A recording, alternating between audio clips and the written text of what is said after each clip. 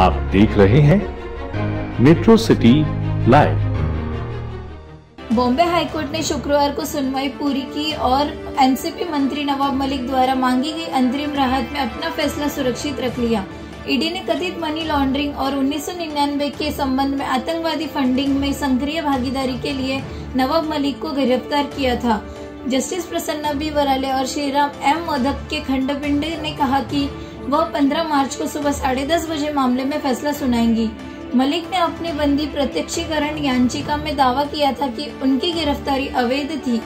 दंड प्रक्रिया संहिता के तहत उचित प्रक्रिया का पालन किए बिना राजनीतिक प्रतिशोध के साथ किया गया था। मलिक ने हाईकोर्ट को बताया था कि ईडी यह आरोप लगाकर कि उनके पास मुंबई की कुरला में गोवावाला बिल्डिंग की संपत्ति है। ईडी ने राष्ट्रवादी कांग्रेस पार्टी नेता मलिक को 23 फरवरी के भगोड़े अंडरवर्ल्ड डॉन दाऊद इब्राहिम और उसके सहयोगी की गतिविधियों से जुड़ी धन शोधन जाँच के सिलसिले में गिरफ़्तार किया था। अदालत ने सोमवार को उन्हें न्यायिक हिरासत में भेज दिया गया था।